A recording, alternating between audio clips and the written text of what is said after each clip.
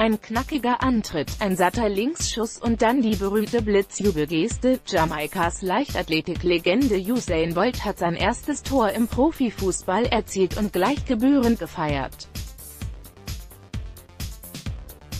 Bei seinem Startelfdebüt im Testspiel seines australischen Clubs Central Coast Marinas gegen den unterklassigen Verein Macarthur South West United traf der 32-Jährige in der 57.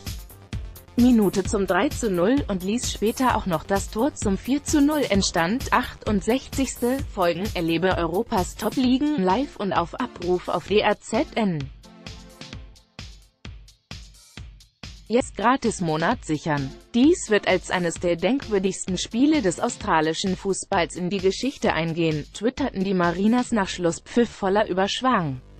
Bolt selbst teilte mit, bei meinem Debüt zu treffen, ist ein gutes Gefühl. Ich bin froh, ein Mariner zu sein, und gebe mein Bestes, um ins Team zu kommen.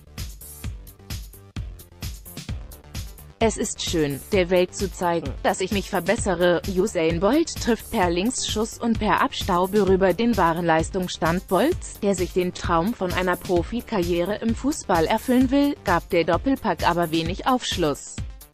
Der 100 und 200 m Weltrekordler tankte sich bei seinem ersten Treffer zwar sehenswert durch, profitierte aber von einem Patzer des MacArthur-Torwarts. Bei Tor Nummer 2 musste Bolt nur noch aus kurzer Distanz den Ball ins Gehäuse schieben, nachdem sich Keeper und ein Abwehrspieler gegenseitig über den Haufen gerannt hatten. Marinas Trainer Mike Malvey hatte angedeutet, dass sich Bolt mit einer guten Leistung gegen MacArthur für einen Platz im Kader empfehlen könne. Central Coast startet am 21. Oktober mit einem Auswärtsspiel bei Brisbane Roar in die neue Saison der League. Mehr zu Usain Bolt